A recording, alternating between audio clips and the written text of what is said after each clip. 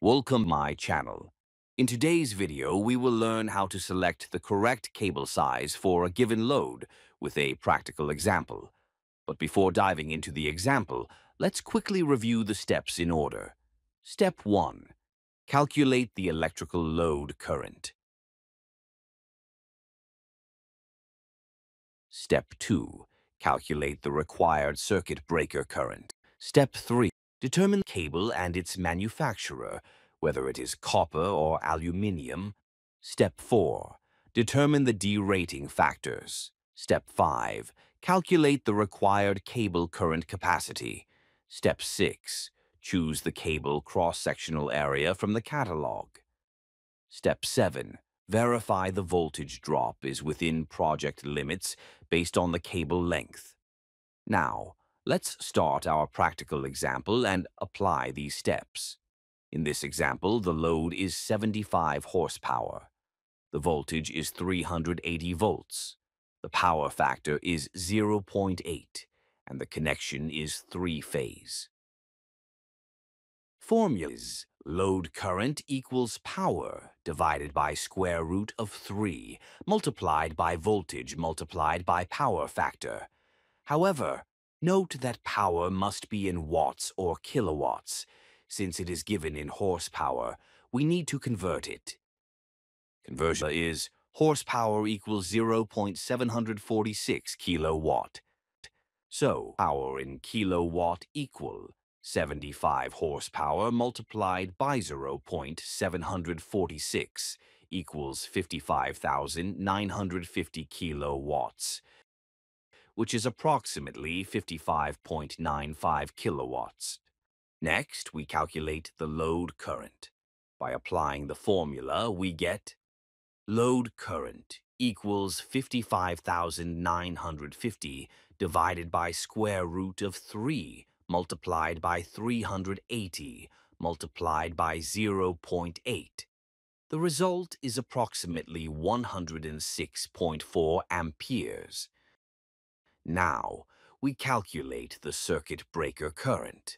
By applying the formula, we get circuit breaker current equals load current multiplied by safety factor, assuming a safety factor of 1.25. Then, circuit breaker current equals 106.4 multiplied by 1.25. This equals 133 amperes we choose the nearest standard size, which is 150 amperes. Next, we choose the cable type and manufacturer. In our example, we will select a 4-core copper cable with XLPE over PVC insulation.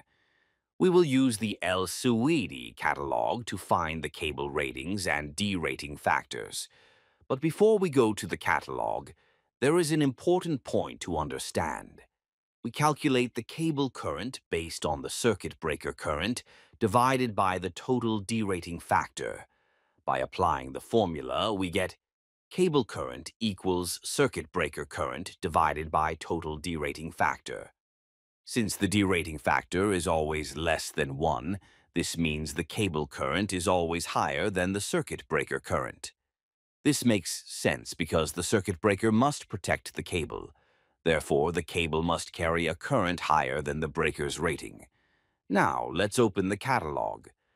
We find the page for multi-core copper cables with XLPE over PVC insulation. We are selecting a 4-core cable. If we only consider the breaker current of 150 amperes, the table shows a 25 square millimeter cable is enough, but we cannot select the cable only based on the breaker. We must consider the derating factors. These factors depend on the soil temperature, the burial depth, and the installation method. Let's get the derating factors one by one from the catalog tables. First, derating factor 1, which is ground temperature factor. For XLPE cables at 40 degrees Celsius soil temperature, the factor is 0.85. Second, derating factor 2, which is burial depth factor.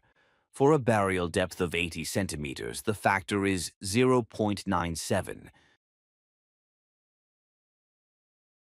Third, derating factor 3, which is grouping factor. If we lay the cable alongside two other cables, with a spacing of 30 centimeters, the factor is 0.84. Now, let's calculate the total derating factor. By applying the formula, we get total derating factor equals factor 1 multiplied by factor 2 multiplied by factor 3. So, total derating factor equals 0.85 multiplied by 0.97 multiplied by 0.84. This equals approximately 0.693. Now we calculate the required cable current capacity. By applying the formula, we get cable current equals circuit breaker current divided by total derating factor. Cable current equals 150 divided by 0.693. This equals 216 amperes. Next, we select the cable from the catalog. We need a cable that carries 216 amperes or more when buried underground. We find that a 50 square millimeter copper cable carries 225 amperes. So the suitable cable is 4 cores, 50 square millimeters copper with XLPE over PVC insulation. Finally, we verify the voltage drop. From the catalog, the voltage drop for this cable is 0.764 millivolts per ampere per meter.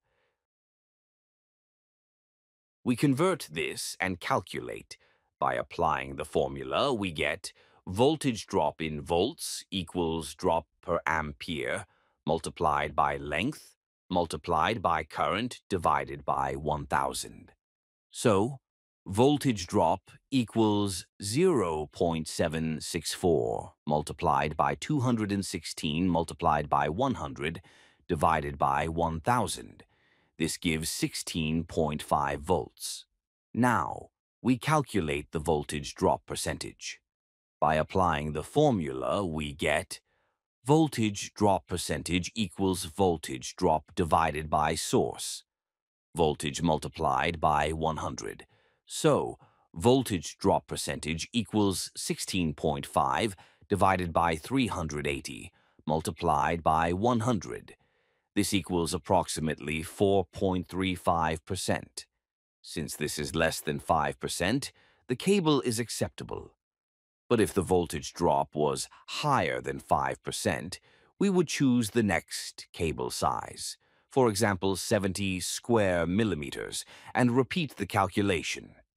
In this video, we learned how to convert horsepower to kilowatts, calculate load and breaker currents, apply derating factors, select the cable size, and verify voltage drop requirements. We hope this helps you in your projects. Follow the channel for upcoming videos, especially about derating factors in detail.